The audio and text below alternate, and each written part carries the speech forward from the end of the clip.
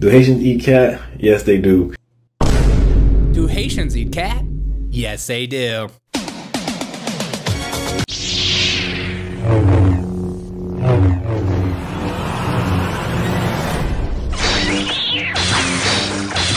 This dude from Haiti says it's actually true that people do eat cats in Haiti. His own family members do it. Oh, so maybe it's not a racist trope. Maybe it's not a anti-migrant comment. Maybe, just maybe, it's based on reality. I'm gonna come. Let's see. Do Haitians eat cat? Yes, they do. And I was born in Haiti. I'm sorry, what was that first part? Do Haitians eat cat? Yes, they do.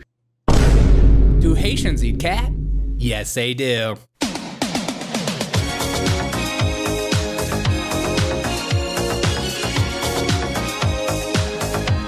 Okay. okay, sorry. It's so stupid. Do Haitians eat cat? Yes, they do. And I was born in Haiti, but I was raised in America. But I have friends and family that were born and raised in Haiti, and they tell me stories of either them themselves eating the cat Oh. or them knowing people that do eat cat out there. So it's not um not weird or uncommon to, for them to be doing it in um, Ohio because they came from a war torn country and they haven't actually um, acclimated to the society. So of course. Acclimated. acclimated.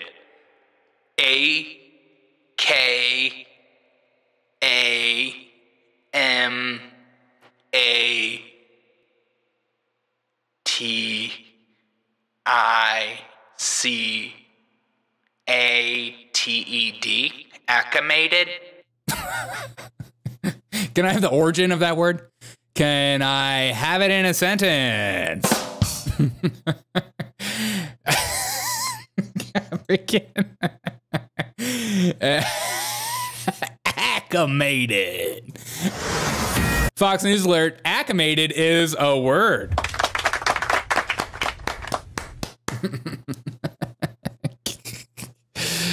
is Trump live tonight? I don't know. He should be. acclimated to the society. So of course you're gonna keep their same habit that they're doing over there. Mm.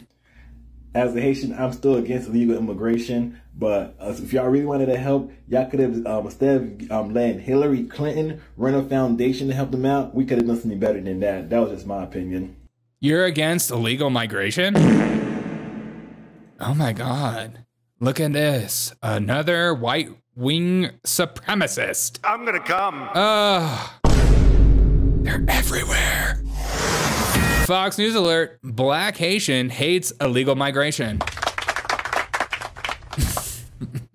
Socle bleu, coton bleu, le soleil bleu, soleil bleu, soleil bleu. So, Haitian confirms it for us. What do you guys think of that? In your face. Losers. yeah, but it's not happening in Ohio. Those Haitians are different.